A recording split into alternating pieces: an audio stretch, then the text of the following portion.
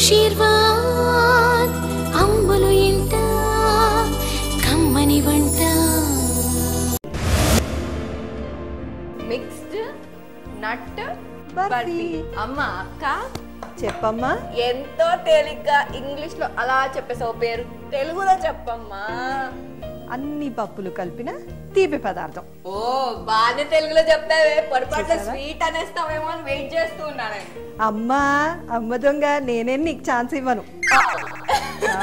Chance ఇచ్చేసావు అలానే. నువ్వు కూడా ఇచ్చావు నాకు. ఛాన్స్ కాదమ్ములు అవకాశం.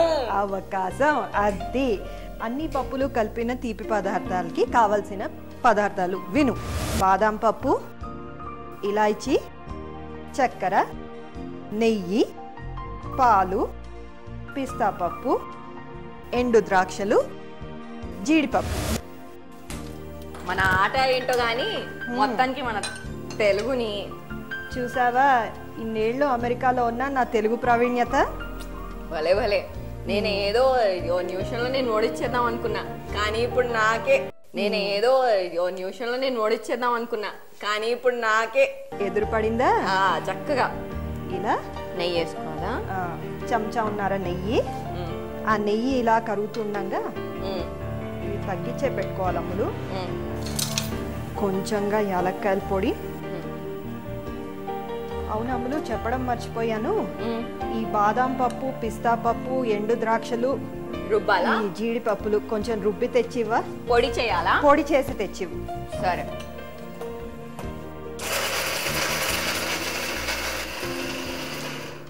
అక్క చెప్పమ్ములు ఇది చూడు.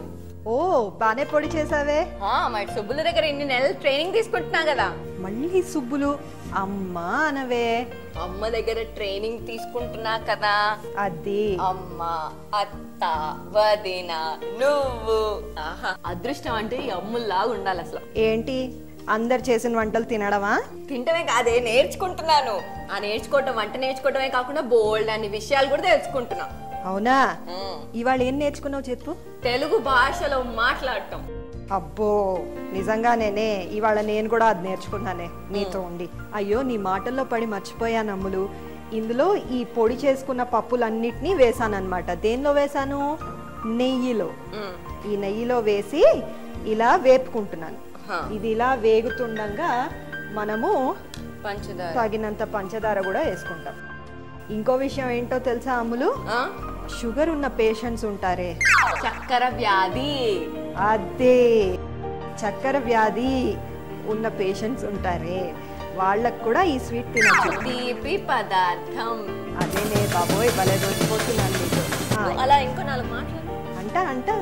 నిన్ను గెలిపించాలంటే అనక తప్పదు కదా? నువ్వు నన్ను గెలిపిస్తున్నావా? అంతే మరి. సరే మాటలదే ఉంది కానీ ఇగో చూడు. ఇప్పుడు ఇది ఇలా వేగిపోయింది కదా? దీనిలో మనం కొద్దిగా పాలు ఇలా పోసేసుకుని కలపాలా? కలుపు.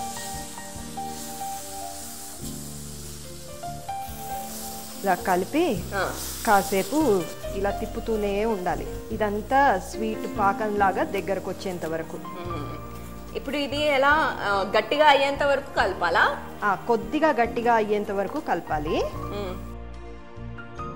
దానిలో కొద్దిగా నెయ్యి వేసుకుని నెయ్యి రాసేసి దాన్ని గ్రీజింగ్ అంటారు కదా? భలే చెప్పావే బాగానే నేర్చుకున్నావు అమ్మ దగ్గర. అమ్మ చెప్తుంది చేసేటప్పుడు. అలా గ్రీస్ చేసి అలా నెయ్యి రాసి పెట్టుకుంటే ఈ తీపి పదార్థం ఇలా అయిన వెంటనే బాగా దగ్గరకు వచ్చేసింది కదా. దగ్గరకు వచ్చిన తర్వాత దీన్ని ఇలా తీసుకోవాలి. నువ్వు గ్రీస్ చేసిన ప్లేట్ ఉంది కదా నెయ్యి రాసిన ప్లేట్? నెయ్యి రాసిన పళ్ళె ఉంది కదా? దానిలో ఇలా తీసేసుకోవాలి. ఇలా తీసేసుకుని. ఆరబెట్టాలి ఎంతసేపు? గంట రెండు గంటలు పడుతుంది అమ్ములు ఆరేందుకు.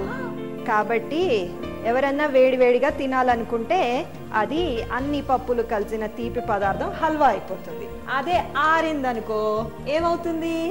బర్ఫీ అవుతుంది. అది బర్ఫీ అని ఎందుకంటాము ఎందుకంటే దాన్ని ముక్కలుగా కోసుకొని తినచ్చు.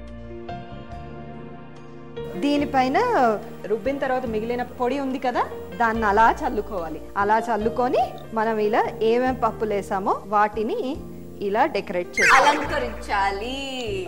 అది అమ్ములు అలంకరించాలి. భలే తప్పులు చేస్తూ ఉండు నేను పట్టుకుంటూ ఉంటాను. నేను అలా గెలిచిపోతాను. అవునమ్ములు తెలుసు. నిన్ను గెలిపించడానికే నేను తప్పులు చేస్తున్నానే. ఎంతైనా అక్కని కదా? ఇది అసలు? ఎలా మాట్లాడుతున్నావు చూడు అసలు? కదా? మరి చెల్లెల్ని గెలిపించాలంటే ఆ మాత్రం ఉండాలే అబ్బబ్బా. ఇది ఎలా చేశానో తెలుసా? చెప్తాను విను. బాదం పప్పు జీడిపప్పు ఎండు ద్రాక్షలు పిస్తా పప్పు తీసుకొని గ్రైండ్ చేసేసుకోవాలి. స్టవ్ వెలిగించి పాన్ పెట్టి దానిలో నెయ్యి వేసి యాలక్కాయల పొడి ఈ గ్రైండ్ చేసిన పొడి ఏదైతే ఉందో అది వేసి కాసేపు వేయించుకోవాలి. అది కాస్త వేగుతున్నప్పుడు చక్కెరను తగినంత పాలు వేసి కలిపేసి అదంతా దగ్గరకు వచ్చిన తర్వాత తీసి పళ్ళెంలో పెట్టుకో ఆశీర్వాద్ అమ్ములు వింట కమ్మని వంట.